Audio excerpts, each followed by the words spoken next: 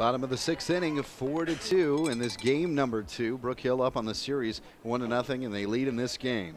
Jake Schaefer, the third baseman, takes one, and that's inside for ball one. As uh, Caleb Sylvia comes out to throw his second inning of relief. His first pitch there was his ninth of this outing. That right down the pike for a strike. On deck is Carson Richards, the second baseman. And Jake Schaefer watches this one go down low and away. For ball two. Today 0 for 2 is Schaefer. But he did reach back in the second on an error as Mike Failer nicely comes out and uh, delivers some fresh baseballs for home plate umpire Mason Bowie. Two balls and a strike. And a breaking ball. Yes, that freezes and ties up Jake Schaefer. That one seemed to take forever and a day to get from the mound to home plate. Nice changeup of speed there. The 2 2. And this one uh, tapped and it's foul.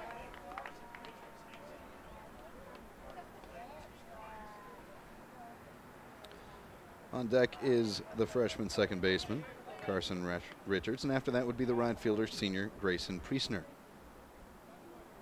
Schaefer sets in, and this a slider, and that catches the inside part of the plate at the belt. Nice inside pitch by Caleb Sylvia. Second and uh, number nine, down looking Richards. goes Schaefer.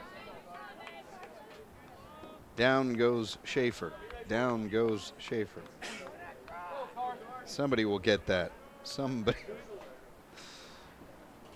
Google Howard Cosell. This one tapped off the end of the bat by Carson Richards. Diving play by A.J. Mendolia, but not enough time for a throw. So with one away and uh, now a runner on at first and Carson Richards after the infield Right single off of the first Grayson pitch. Here comes Priestner. Grayson Priestner, who is walked twice today. He did so in the third inning on seven pitches and then four pitches in the bottom of the fourth. 339 batting average on the year, 14 RBIs.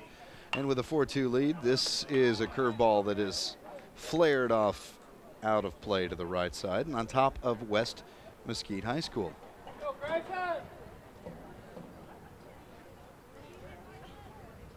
Wind has uh, been steadily coming in at about 20 mile an hour all day as that one is registered for a strike and uh, Caleb Sylvia jumps up 0-2 on Grayson Priestner. Runner at first and Carson Richards in the 0-2. That one strikes him out. That was a three-pitch, ruthless strikeout by Caleb Sylvia. Got him on a slider.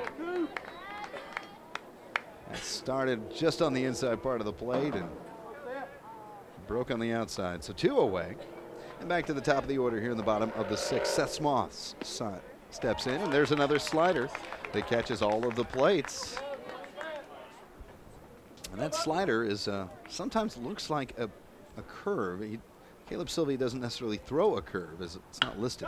That a fastball that is hit over to AJ Mendolia at second. Close play at first. Nice stretch by the six foot seven Cade Farr.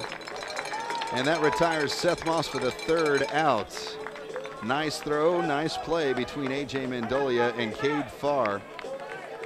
And with two strikeouts in that one, no runs for the guard on a one hit, no errors. And one left on. All right, let's head to it. The top of the seventh. Backs against the wall. The Saints trail by two, a 4 2 Brook Hill lead. This will decide whether or not there will be a game three of this best of two series after this on the Texas 24 7 television network.